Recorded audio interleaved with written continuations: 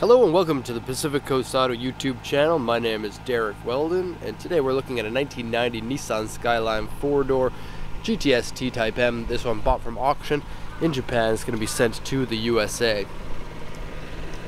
Okay, so we have an RB20 inline six-cylinder turbo engine. They put out 220 horsepower in this vehicle.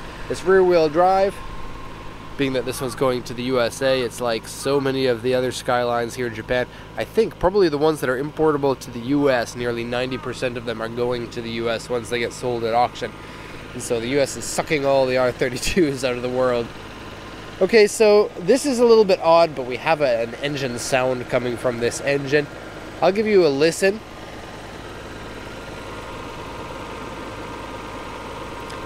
And so the engine sound is accommodated by some vibrations in the engine. When we first started it up, there was no engine sound. It came in after the engine got warm, and so it's not a sound that comes in and cold. It's not a lifter sound, but I don't know exactly what it is. My recommendation is we send this car to a mechanic. They diagnose what the problem might be, and then we decide whether we go ahead and sell this at auction again, or if we go and repair whatever it is. It could just be that it's running a very light oil, but I don't really know about that. The oil did look rather light compared to your average uh, RB20 oil, but I don't know if that would be it. It kind of sounds like it's something in the head, but it doesn't sound like a valve is hitting. So I'm not entirely sure. Maybe giving the engine a run in. Uh, maybe it hasn't driven for a while. Maybe that's going to clear something up. But uh, the truth is, I'm not entirely sure. Okay, so for the rest of the walk around here, let's have a look. And so, uh, oil checked out okay. Oil level seemed okay. The only thing is it was a little bit thin. And then the coolant looks to be good. This car has 107,000 kilometers. And that's the weird thing. The RB20s aren't typically engines that have problems, especially not at 107,000 kilometers. We've sold so many of these. I've never actually had one that had an internal engine problem, and so I'm crossing my fingers that there is no issue with that, especially on a car that is completely stock. That's the original uh, air filter on it, original um, outlet piping, original turbo. It hasn't been highly modified. I guess all we have here is a strut tower bar and some sort of aluminum shroud so that it gets more cool air into the radiator. Okay, so I'm going to lower the uh, hood here. No signs of any rust inside the engine bay, so that's a, a big plus for one of these. And timing belt changed at 60,000 kilometers. And so that's another weird thing is if you have a timing belt that was changed way before it was meant to be changed, then typically that's somebody who keeps good care of their car, which would lead to a less risky vehicle uh, for mechanical breakdowns. Okay, so let's go over the auction sheet here. This is the information given from the auction, and I'm going to translate for you. 1990 Skyline GTS T-Type M, 2000cc inline six-cylinder, auction grade 3.5 with an interior C, 107 753 kilometers, 5-speed transmission. Comes with sunroof, which is a rather rare option. And then this is an original white car, and so that's really rare for ones that are importable to the USA because uh, they, these cars started in 89, so 89 and um, 89 and most of 90, I think there were no white ones, and then there weren't very many until the later years. Okay, so KSP radiator hood panel, Fujitsubo exhaust, Cusco tower bar, uh, five speed manual transmission swap. So this is an original automatic car. KYB suspension on it, and RB20 DET engine, so that's a twin cam turbo. Okay, timing belt changed at 62,431 kilometers in the year 2000. Alright, original automatic transmission, changed to manual. Sunroof doesn't work. Uh, so the sunroof does work. It seals properly by the looks of it. It's tilt style and it goes in underneath here. But when you put it in underneath, when it comes back out, you have to push the switch a couple of times because it stops when it shouldn't be stopping. And so the motor still works, but the gears aren't really pulling it in. I think giving it an oil should make it work, but the gears might be getting old and uh, useless. It says AC panel here doesn't display properly. Underside surface rust, wheels, scratch, door mirrors, paint fade, various scratches, dents, and repairs. Interior wear and dirty. Shift panel has modification done to it. So they used the original automatic transmission shift panel and just modified it by cutting it so that you can have your gear shift gear shift lever in the appropriate place. And dashboard comes up like so many of these other R32s. Body here, so we have uh, paint cracks on the front bumper, A3 here, and A3. Those are big scratches in those sections there, and paint peeling on the right front fender. Crack in the dash, or uh, not in the dashboard, in the windshield. I'm going to show you where these are. Got one here that's about 11 millimeters. Okay, and then there's one more over here. Right there, and this one is about 7 millimeters. So both of those can be repaired by a glass shop. Okay, we have peeling paint on the roof, according to this. Now, the peeling paint on the front fender is easy to find. The roof only has a little spot right here. Okay. W3 is bad paint, and so the bad paint would be on this rear panel here. You can see it's a little bit unclear. If you really wanted to, you could get it uh, like a body shop to wet sand that down and make it look better, but it doesn't really stand out that much.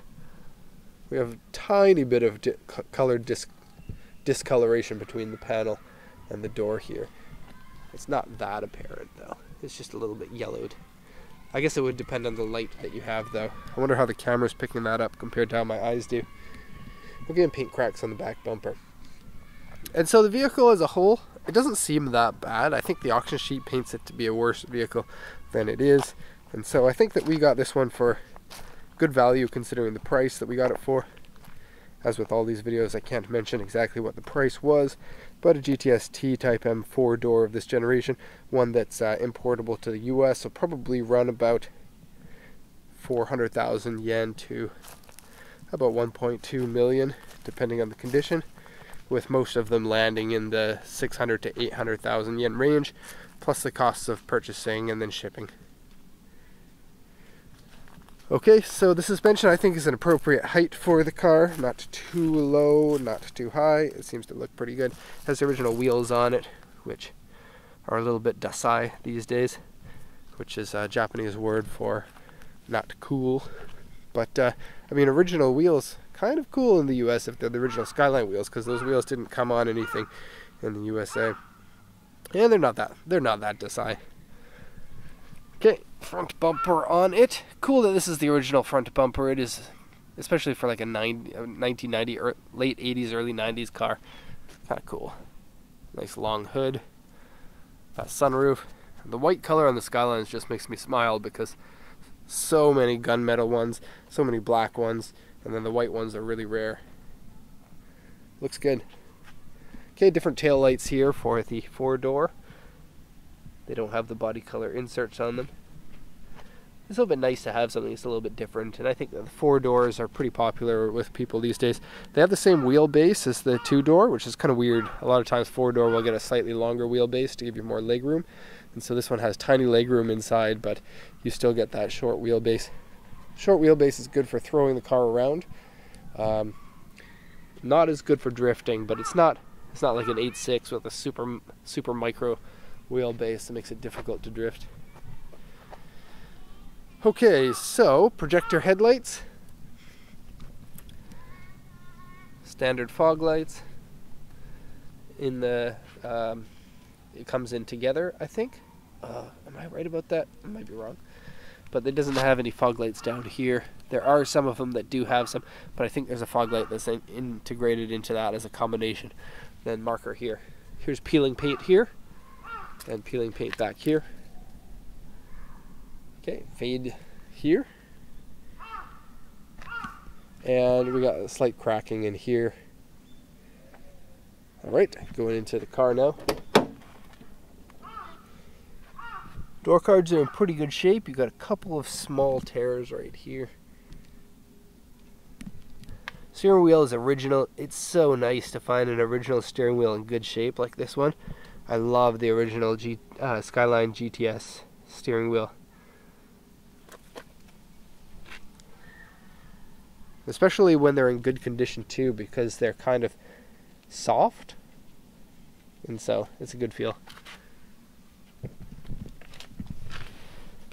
Fog lights, yes. I'm right. Okay, blue gauges here. Dashboard has a little bit of lift, you can see there. There's also a ridge up here, Take a look. Which is also something that they do. This bubble up here is very common on these, as is another bubble right here. Okay. So, being a transmission swap, you get the transmission selector uh, display here as well. This has been cut, you can see there. And there's some noise that comes in through here because the proper plate and like uh, shroud is missing.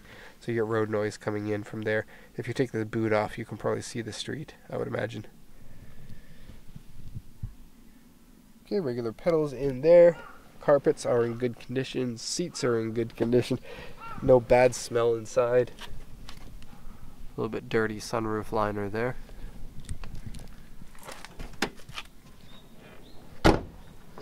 Back seats are itty bitty. Okay, not much else to say about that. And into the trunk. Trunk liner's in really good shape and no signs of any rust inside there. Okay. So overall I would say condition, you know, it's not the best condition. I think good value for money for this one. And that's the thing is uh, with conditions of these Skylines, there's always going to be someone that wants to buy one no matter what the condition is because Skylines are just awesome cars whether you're going to take a a destroyed one and turn it into a race car. We're going to take one like this and just put a little bit of money in and turn it into a really nice daily driver type car. So hope you enjoyed this video. Thank you. Once again, this is Pacific Coast Auto's YouTube channel. You can check out our website. There's a link to that in the description. Also feel free to comment as much as you want. So thanks a lot for watching and have a nice day.